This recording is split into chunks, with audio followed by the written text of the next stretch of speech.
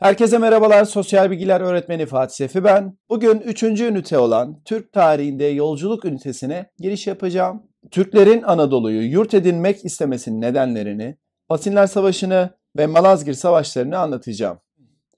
Arkadaşlar ilk olarak Türklerin Anadolu'yu yurt edinmek istemesinin nedenlerinden başlayalım. Çocuklar Türkler Anadolu'ya yerleşmeden önce Orta Asya denilen bölgede yaşıyordu. Çocuklar Orta Asya Asya'nın orta kısmında bulunan yerdir. Anadolu'nun hemen doğu kısmında bulunuyor burası. Çocuklar Orta Asya Türklerin ilk ana yurdudur. Türkler Orta Asya'da genellikle hayvancılık ile uğraşmışlardı ve genel olarak göçebe bir yaşam tarzına sahiplerdi. Bir süre sonra Orta Asya'da yaşayan Türkler Anadolu yurt edinmek için seferler düzenleyecek. Türklerin Anadolu'yu yurt edinmek istemesinin nedenleri bizim için çok önemlidir çocuklar. Şimdi maddeler halinde inceleyelim. Birinci madde diyor ki elverişli iklim koşullarına sahip olması. Bakın Orta Asya elverişsiz iklim koşullarına sahipti. Sert karasal iklim görülüyordu. Ee, hatta bazı dönemlerde eksi 50 derecelere kadar soğukluklar çıkabiliyordu. Olumsuz iklim koşulları vardı. Ama Anadolu'ya baktığımızda ise özellikle üç tarafının denizlerle çevrili olması Anadolu coğrafyasını ılıman bir iklime sahip olmasını sağlamıştır. Dolayısıyla Anadolu'da elverişli bir iklim koşulu vardı. İklimin iyi olması da Türklerin bu bölgeyi tercih etmesinde önemli bir rol oynamıştır. İkinci sebebe bakalım diyor ki bol su kaynaklarının olması.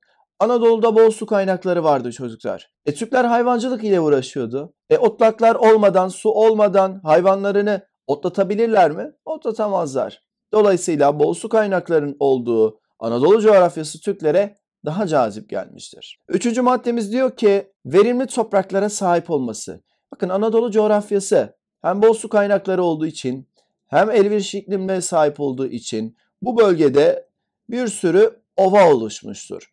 Özellikle Adana'daki Çukurova, e, Çarşamba, Bafra, Gediz, Menderes gibi bir sürü ovaya sahiptik. Verimli toprakların olması da bu bölgeyi daha cazip bir konuma getirmiştir. Dördüncü maddemiz diyor ki Orta Asya'da kuraklıkların yaşanmaya başlaması. Bu dönemde Orta Asya'da şiddetli kuraklıklar yaşanmaya başlıyor. Böylece otlaklıklar kurumaya başladı ve hayvanların otlatabilecek otlak bulamamaya başladı Türkler. Sonraki maddemiz diyor ki dış baskıların artması. Orta Asya'da bulunduğumuz süre zarfında özellikle Karahanlı ve Gazneliler tarafından Selçuklular baskı altındaydı ve bu baskılardan kurtulmak amacıyla da farklı bir bölgeyi göç etmeleri bizim işimize gelecekti. Bu da sebeplerden birisidir. Son sebebimiz ise salgın hastalıkların ortaya çıkması.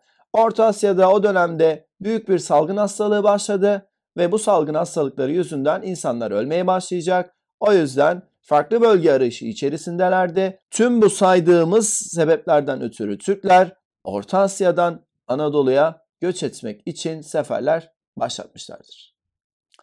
Evet çocuklar Pasinler Savaşı ile dersimize kaldığımız yerden devam ediyoruz. Çocuklar az önce Türklerin Orta Asya'yı terk edip farklı bir yurt edinme arayışları içerisine girme sebeplerini anlatmıştık. Tüm bu sebeplerden ötürü Selçuklular, Tuğrul ve Çağrı Beyler döneminde Anadolu'ya akınlar düzenleyecek ve Pasinler Ovası'na kadar girecekler.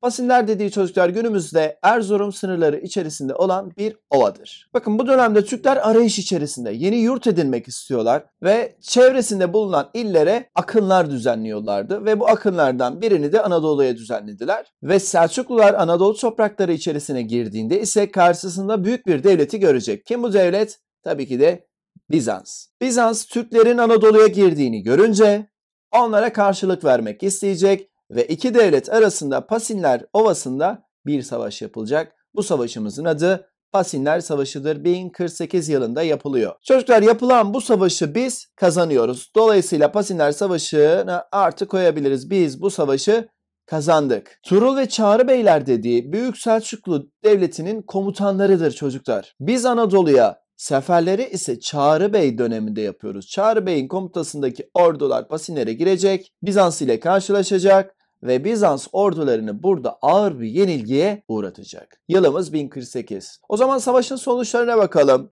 E, dolayısıyla Büyük Selçuklu Devleti savaşı kazandı. Bu savaş sayesinde Türkler Doğu Anadolu'nun kapılarına kadar dayandılar. Çocuklar biz yurt arayışı içerisindeydik. E, Anadolu'ya girdik Pasinler'de Bizans'ı yenince Anadolu coğrafyasının Türklerin yaşamasına çok elverişli bir yer olduğunu anladık. Pasinler Savaşı'ndan sonra artık Türkler Anadolu'ya yaptığı akınları hızlandıracak ve buraları yurt edinmek için daha büyük çaba göstermeye başlayacağız. Bu savaşın önemini kesinlikle unutmayın çocuklar çok önemlidir. Pasinler Savaşı Bizans ile Selçuklar arasında yapılan ilk savaştır. Şöyle sorular karşımıza gelebilir. Selçuklular ile Bizans arasında yapılan ilk savaş hangisidir?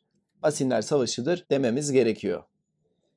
Evet çocuklar son olarak da Malazgirt Meydan Muharebesi'nden bahsetmek istiyorum. Çocuklar Selçuklular ilk olarak Orta Asya'dan Anadolu'ya giriş yapıyor ve Pasinler Savaşı'nda Bizans'ı yenilgiye uğratıyordu. Ve Pasinler Savaşı'nda Anadolu coğrafyasının Türklere çok uygun olduğunu anlıyorduk ve Anadolu'ya yaptığımız akınların sayısını artırıyorduk. Pasinlerden yani Erzurum'dan daha iç kesimlere kadar sokulacağız ve bu kez de Muş'un Malazgirt Ovası'na kadar ilerleyeceğiz Sultan Alparslan komutasında. Ve Bizans İmparatoru Roman Diyojen de Türklerin ilerleyişini durdurmak amacıyla büyük bir ordu hazırlayacak ve bu ordular Muş'un Malazgirt Ovası'nda karşı karşıya gelecekler. Yani Selçuklular ile Bizanslar arasında yapılan ikinci savaş Malazgirt Meydan Muharebesi'dir. Çocuklar bu savaşı Selçuklular kazanacak. Çocuklar bu savaşın kazanılmasında bizim lehimize gerçekleşen bir durum yaşandı savaş içerisinde. Bakın Bizans'ın ordularının büyük çoğunluğunu paralı askerler oluşturuyordu ve Bizans'ın ordularında çok fazla Türk asker bulunuyordu. Kimdi bunlar? Uzlar ve Peçenekler. Uz ve Peçenek Türkleri savaşın başlaması ile birlikte karşısındaki tarafın Türk olduğunu anlayınca Selçukluların tarafına geçecek ve bu durumda savaşı Selçukluların kazanılmasında önemli bir rol oynayacak. Ve Malazgirt Savaşı 1071 yılında yapılmıştır. Bu savaşı da biz kazandık. Basinleri de kazanmıştık. Malazgirt Savaşı çok önemli çocuklar. Sonuçları bizim için çok önemlidir. Hemen sonuçlarına bakalım. Bu savaş ile birlikte Anadolu'nun kapıları Türklere açıldı. Bakın bu tabir sık sık karşınıza çıkacak. Hangi savaş ile birlikte Anadolu'nun kapıları Türklere açılmıştır derlerse Malazgirt Meydan Muharebesi diyeceğiz. Çocuklar Malazgirt Savaşı ile birlikte Anadolu'nun kapıları Türklere açıldı. Yani Orta Asya'da bulunan, Horasan'da bulunan Türkler artık akın akın halinde Anadolu'ya göç etmeye başlayacaklar. Böylece Türkler kitleler halinde Anadolu'ya göç etmeye başlayacaklar. Dolayısıyla 1071 yılı Türkiye tarihinin başlangıcı kabul edilir. Malazgirt Meydan Muharebesi'nden sonra Anadolu'da 1. Beylikler dönemi başlayacak. 1. Beylikler dönemini bir sonraki dersimizde anlatacağım. Malazgirt Savaşı bizim için önemlidir çocuklar. Unutmuyorsunuz. Savaşı kazanmamızda Uz ve Peçenek Türklerin taraf değiştirmesi önemlidir. Savaşı sebebi Türklerin Anadolu'ya akınlar düzenlemesidir. Savaş Bizans ile Selçuklular arasında yapılmıştır. Pasinler Savaşı'nda, Malazgirt Savaşı'nda biz kazandık. Anadolu'nun kapıları bizlere artık bu savaş ile açıldı.